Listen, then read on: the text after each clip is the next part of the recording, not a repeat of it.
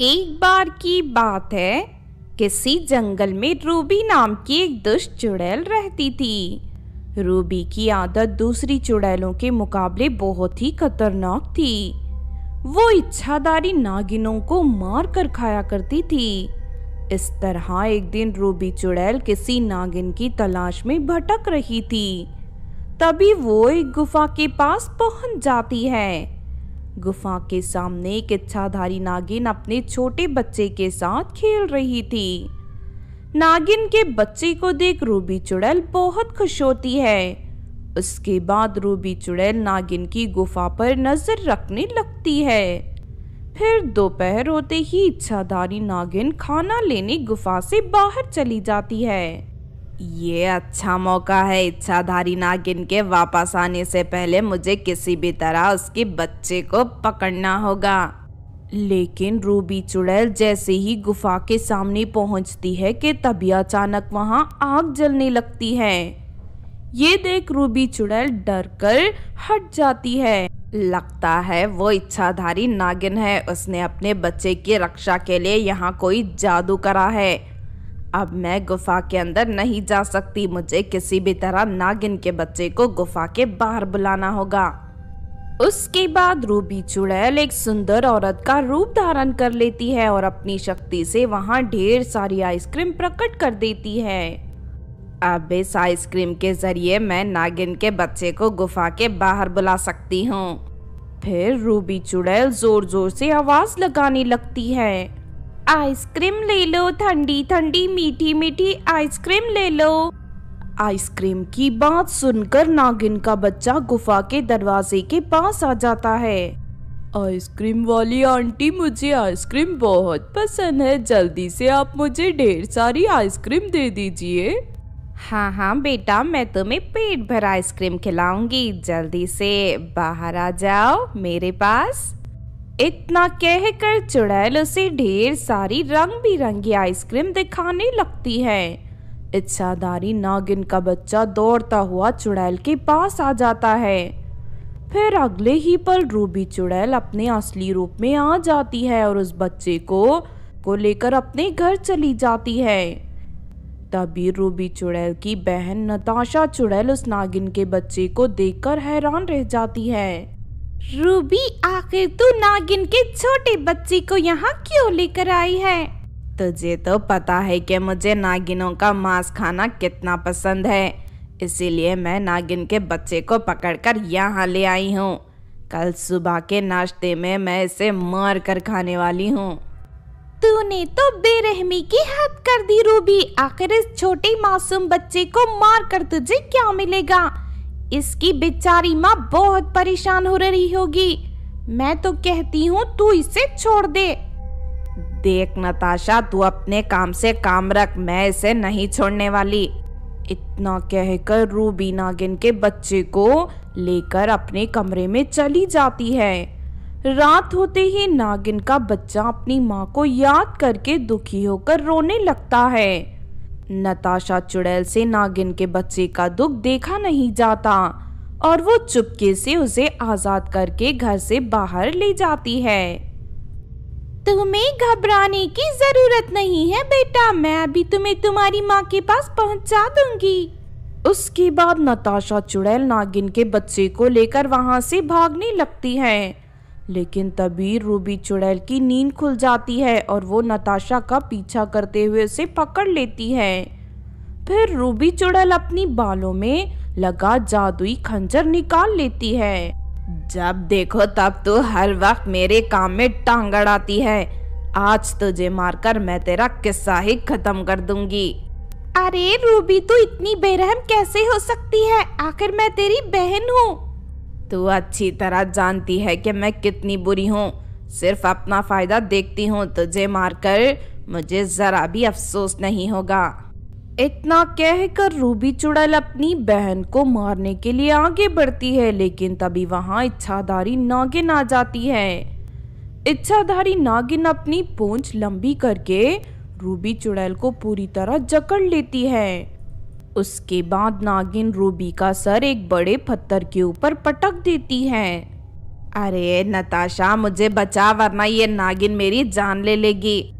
तेरी जैसी धोखेबाज और मतलबी बहन के साथ ऐसा ही होना चाहिए, मैं तुझे नहीं बचाने वाली। इस तरह धोखेबाज और बेरहम रूबी चुड़ैल का अंत हो जाता है। उसके बाद इच्छाधारी नागिन नताशा चुड़ैल का शुक्रिया अदा कर अपने बच्चे को लेकर वापस अपनी गुफा में चली जाती है। बहुत पुरानी बात है। शैतानपुर में नीलम नाम की एक चुड़ैल रहती थी। नीलम के दोनों हाथ सोने से बने थे। साथ ही उसके दोनों हाथों से ढेर सारे सोने के सिक्के भी बाहर निकलते थे। नीलम अपनी शक्ति का इस्तेमाल हमेशा जंगल के आसपास रहने वाले गरीब लोगों की मदद के लिए किया करती थी। नीलम, तेरी इस तरह इंसानों के बीच जाना ठीक नहीं है। सभी इंसान एक जैसे नहीं होते। इंसानों में आधे से ज़्यादा लोग लालची और धोखेबाज होते हैं। तेरी सच्चाई की आदत एक दिन तुझे बड़ी मुसीबत में फंसा देगी। नहीं अनिता चुड़ैल, मैं तुम्हारी बात से सहमत नहीं हूँ।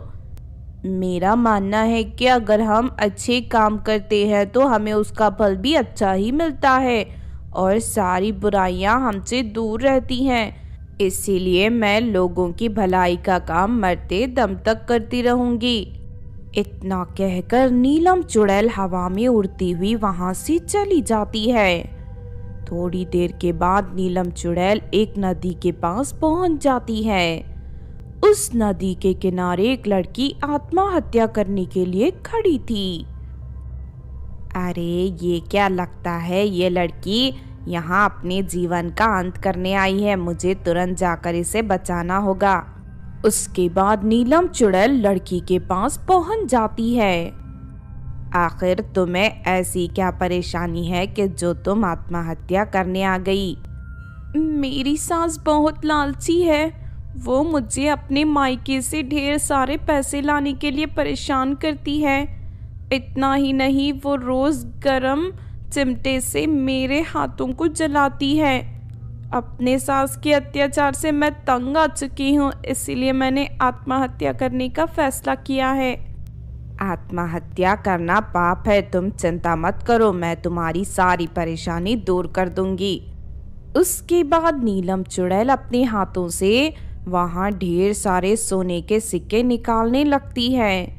देखते ही देखते वहाँ ढेर सारे सोने के सिक्के जमा हो जाते हैं। अब तुम इन सोने के सिक्कों के ज़रिए अपनी लालची सास को अपने इशारों पर नचा सकती हो। आज के बाद तुम्हारी सास दुम हिलाती हुई तुम्हारे आगे पीछे घूमेगी। अरे वाह, ये तो तुमने कमाल कर दिया। एक ही झटके में मेरी सारी परेशानी दूर हो गई। तुम्हारा बहुत बहुत शुक्रिया चुड़ैल जी, सच में तुम बहुत अच्छी हो। उसके बाद वो लड़की सारे सोने के सिक्के लेकर अपने घर चली जाती है। उस दुखी लड़की की मदद करके नीरम चुड़ैल को बहुत खुशी होती है। इस तरह एक दिन नीलम चुड़ैल एक गाँव की ओर जा रही थी। तभी रास्ते में कुएँ के पास उससे दो लड़कियाँ रोती हुई दिखाई देती हैं। क्या हुआ? तुम दोनों यहाँ बैठकर क्यों रो रही हो? हमारा छोटा भाई इस गहरे कुएँ के अंदर गिर गया है। अगर जल्दी से उसे बाहर नहीं निकाला गया तो उसकी मौत हो जाएगी। चिंता मत करो, मैं अभी कुएँ के अंदर उतरकर तुम्हारे भाई को बाहर ले आती हूँ। इतना कहकर नीलम चुड़ैल कुएँ के पास पहुँच जाती है। लेकिन तभी वो दोनों लड़कियाँ पीछे से धक्का देकर चुड़ैल को कुएँ के अंदर गिरा देती हैं। फिर वो दोनों लड़कियाँ ज़ोर ज़ोर से हंसने लगती हैं। चल जल्दी से माँ को फ़ोन करके बता दे कि हमने नीलम चुड़ैल को पकड़ लिया है। ये सुनकर नीलम समझ जाती है कि उसके साथ धोखा हुआ है। ज़्यादा खुश होने की ज़रूरत नहीं है। मैं अभी बाहर निकलकर तुम दोनों को सबक सिखाऊँगी। लेकिन तभी वो दोनों लड़कियाँ कुएँ के अंदर एक जादुई रस्सी फेंक देती हैं और अगले ही पल वो जादुई रस्सी नीलम चुड़ैल को पूरी तरह जकड़ लेती है। तभी वहाँ उन दोनों लड़कियों की तांत्रिक माँ पहुँच जाती है।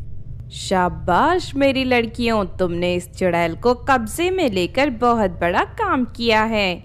अब मैं चुड़ैल के दोनों सोने के जादुई हाथों को काट कर तुम दोनों के शरीर में जोड़कर तुम्हें शक्तिशाली बना दूँगी। इतना कहकर तांत्रिक औरत अपनी तलवार बाहर निकाल लेती है, लेकिन तभी वहाँ नीलम की सहेली अनीता चुड़ैल आ जाती है। अनीता चुड़ैल उन तीनों की आँखों में भूतिया मिर्च डाल देती है, जिससे वो तीनों दर्द के मारे तड़पने लगते हैं। हाय माँ, मर गई रे, मेरी आँख जल रही है। अरे कोई पानी दो, अरे कोई मुझे बचाओ। इस चुड़ैल की सहेली तो बहुत खतरनाक है। हमें इसे नहीं जीत पाएँगे। चलो भागो यहाँ से।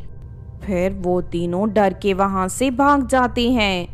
उसके बाद अनीता नीलम चुड़ैल की रस्सियाँ काटकर उसे आज़ाद कर देती है। देख लियाना नीलम, मैंने तुझे कहा था ना कि सभी इंसान एक जैसे नहीं होते।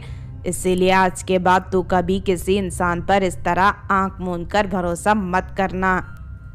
हाँ तूने सही कहा। आज के बाद मैं ऐसी गलती दोबारा नहीं करूँगी। फिर दोनों सहेलियाँ वापस अपने जंगल चली जाती हैं। उस दिन के बाद से नीलम चुड़ैल पूरी तरह सतर्क हो जाती है।